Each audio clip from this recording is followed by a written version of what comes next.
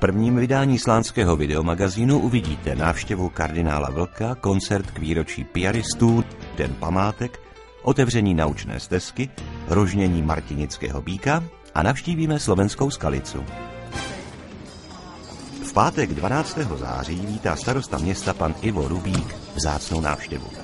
U příležitosti oslav 350 let piaristů Slaném přijíždí jeho eminence Miloslav kardinál Vlk.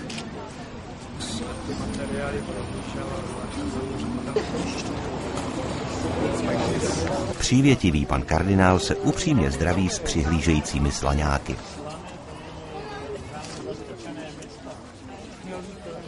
Vážená jeho eminence, milý pane kardinálu Vlku, vážené dámy a pánové, dovoluji si vás uvítat na krátké slavnosti u příležitosti odhalení pamětní desky k významnému výročí, které letos v roce 2008 slavíme.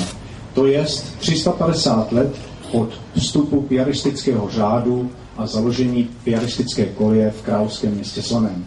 Dovolte mi, abych před vašimi zraky tuto pamětní desku, kterou si připomínáme dnešní výročí, odhalil.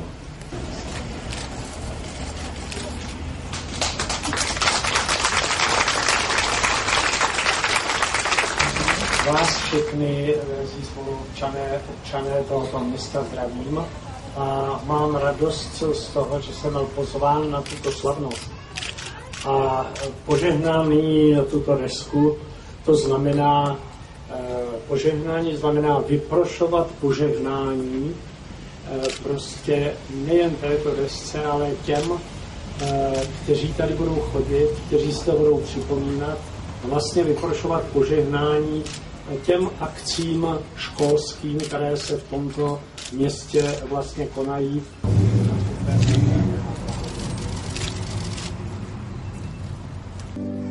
Pamětní deska bude navždy připomínat veliké osobnosti, které zde studovali.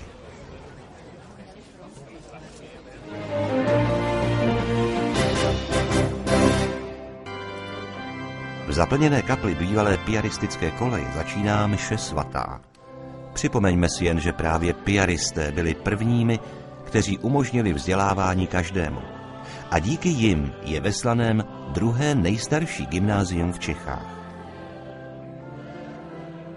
Jsem rád, že i já mohu mezi námi přivítat nejvyššího představitele církve u nás, pražského arcibiskupa, otce kardinála Miloslava.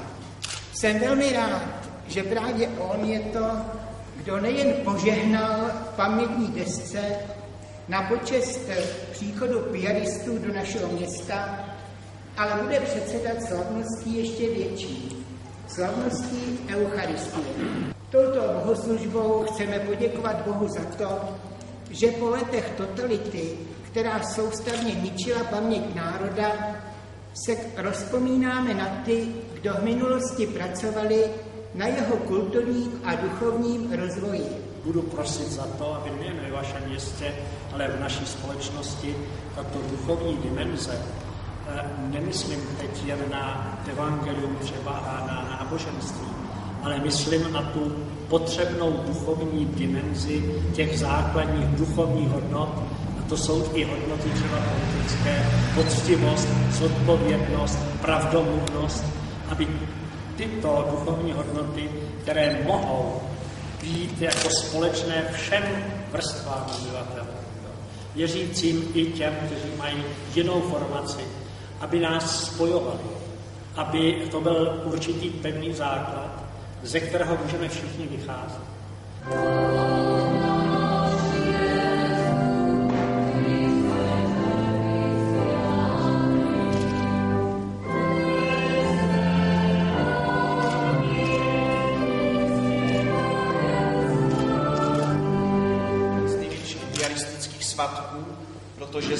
M našeho řádu je prostě jméno Panny Marie.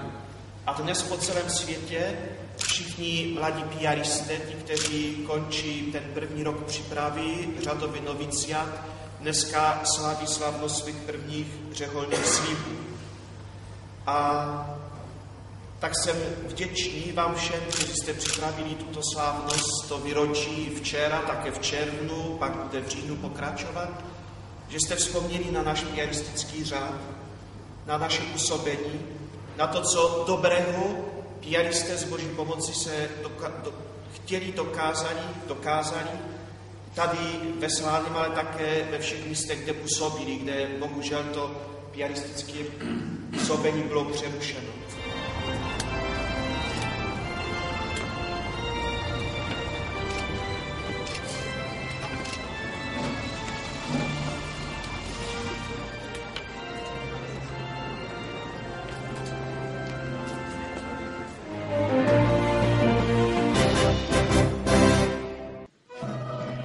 Zasnoubení Pany Marie se rozeznívá nádhernou hudbou. Hudbou, která se před staletími zrodila možná právě v těchto místech. Ano, to jsou skladby slánských piaristů.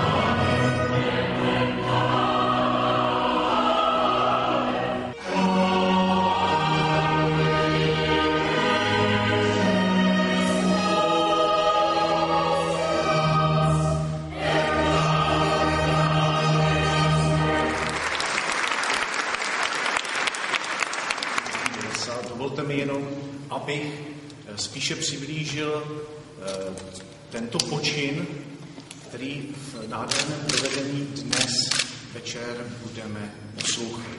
Tímto počinem je zvukový nosič, já jsem používal odporné cizí slovo CD, ale eh, pak jsem se za něj styděl. Eh, Je to prostě zvukový nosič, Laudate Pluri Dominu, eh, za který mohou všichni ti lidé, kteří jsou zde před vámi rozprostřeny, ale zejména Robert Hugo, kapela Regia Praha,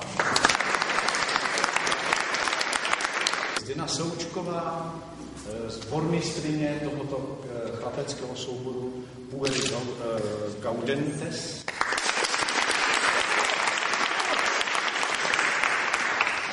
Matouš Vlčinský. To je člověk, který stál v pozadí celého eh, tohoto zvukového nosiče jako šéf, producent vážné hudby, eh, nakladatelský suprafon tohoto hegemona vlastně vážné hudby na české scéně, která, kterýž to převzal eh, tento zvukový nosič do své ediční řady, což je pro naše město, pro všechny nás velkým potěšením a velkou poctou. Takže Matouš Načínský šéf.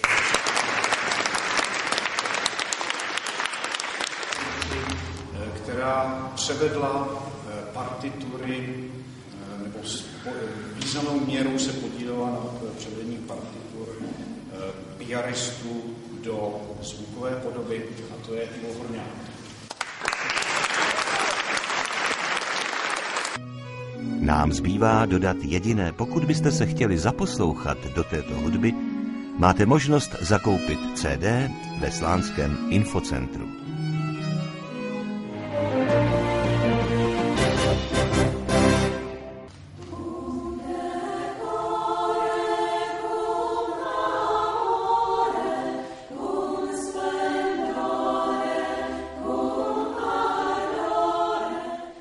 Budově bývalého okresního domu se nachází tento nádherně vyzdobený sál. Je dílem architekta Jana Vejrycha a stavitele Václava Havránka. Na jednu stranu připomíná časy rozkvětu města, ale zároveň i žaluje na dobu nedávno minulou, kdy tyto historické prostory sloužily jako internát.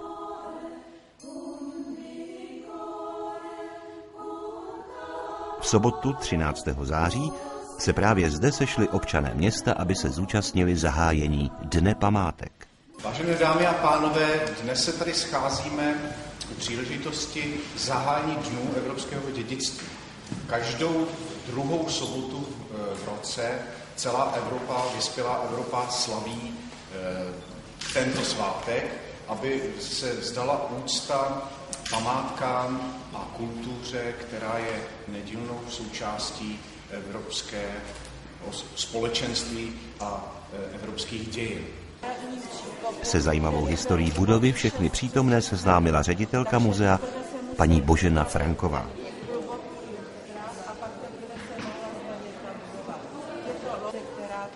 navazuje právě na tuto Tato levá část má něco kolem 9 metrů, když to ta druhá pravá je...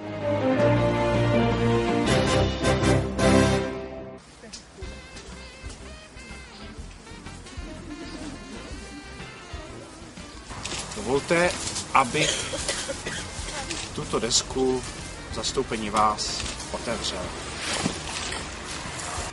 Nově vybudovanou naučnou stezku na Slánské hoře otevřel starosta Ivo Rubík. Přítomní se vydali na krásnou procházku k vrcholu přírodní dominanty našeho města.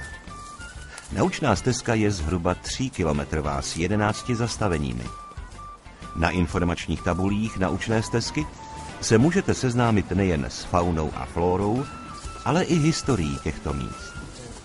O znovu otevření se kromě města Slaného zasloužili i lesy České republiky, Palaba, středočeský kraj a mnozí další. Před vrcholem se před vámi rozprostře průmyslová zóna Slaného.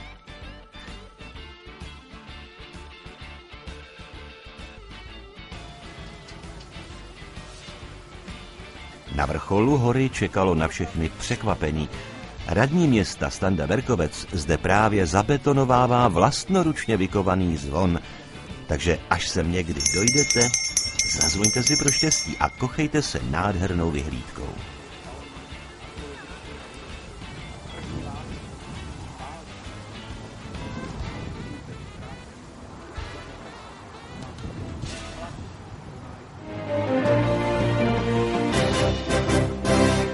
Rožnění martinického býka je tradice, kterou město obnovilo u příležitosti návštěvy slaného prezidenty Vyšegrádské čtyřky. A tak letos už po třetí můžeme ochutnat rožněné maso, připravené kolektivem hotelu Hejtmanský dvůr. Fronty jen potvrzují zájem o takovéto akce.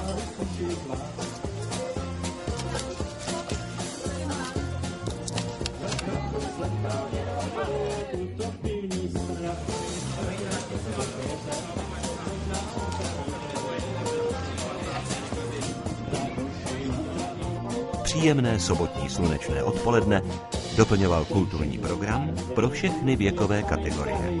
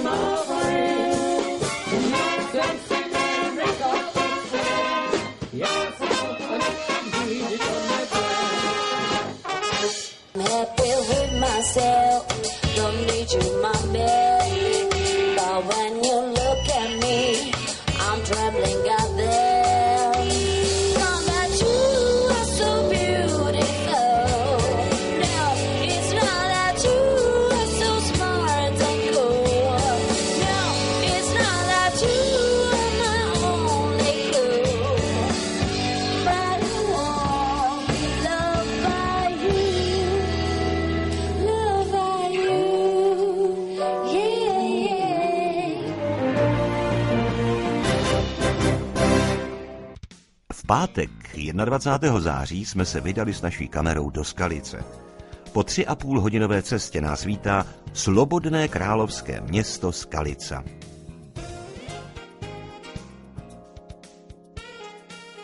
Skalica má mnoho podobného s naším městem. Má téměř stejný počet obyvatel. Nádherné památky a krásné historické náměstí.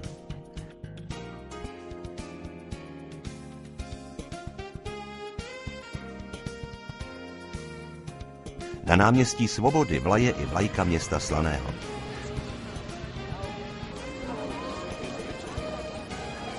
Ve stáncích na náměstí a jeho okolí ochutnáváme zdejší specialitu, trdelník a neodoláme ani místnímu borčáku.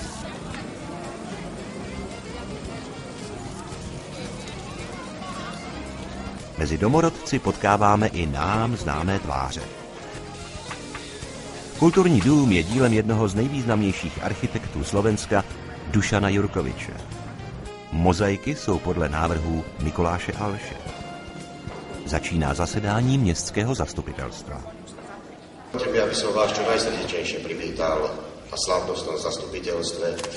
Stalo sa už pravidlom, že počas kalických dní si uctievame tých, ktorí, či už rodákov, alebo iných ľudí, ktorí prispeli k rozvoju nášho mesta. Srdečne zdravím delegáciu Kráľovského mesta Slaný, s ktorým dnes podpíšeme partnerskú zmluvu na čele so starostom Ivom Rubikom. Vážený pane primátore, vážení členové Rady a zastupitelstva Slobodného mesta Skalica, vážení hosté, milí Skaličané. Dovolte mi, abych v zastoupení občanů, radních a zastupitelů Královského města Slaného vyjádřil potěšení za pozvání do vašeho krásného města a zároveň radost nad tím, že za malý okamžik společně s panem primátorem, mým přítelem, podepíšeme partnerskou smlouvu mezi městem Slaným a městem Skalicou. Dlouholetá spolupráce obou měst začala v roce 1992 příchodem pobočky skalického grafobalu do Slaného. O 12 let později se konaly slovenské dny a přátelské vztahy se stále prohlubovaly. Podepsání partnerské smlouvy pečetí spolupráci, která navazuje na společné staleté dějiny obou národů.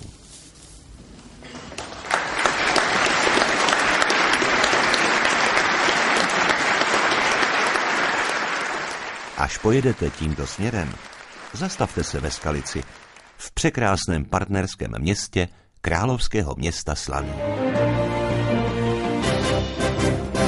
Na závěr prvního vydání magazínu jen několik pozvánek. V úterý 7. října se ve Vlastivědném muzeu uskuteční slánské rozhovory, tentokrát věnované 350. výročí příchodu piaristů do Slaného. Chcete-li se dobře pobavit, zajděte ve čtvrtek 9. října do Městského divadla na bravurní komedii slánské scény Polip Tetičku. V pátek 17. a v sobotu 18. probíhají krajské volby. My budeme u toho a příště vás seznámíme se slánskými výsledky. V pondělí 27. v předvečer státního svátku proběhne v divadle slavnostní zasedání městského zastupitelstva. Příští vydání slánského videomagazínu můžete vidět od 1. listopadu a do té doby naschledanou.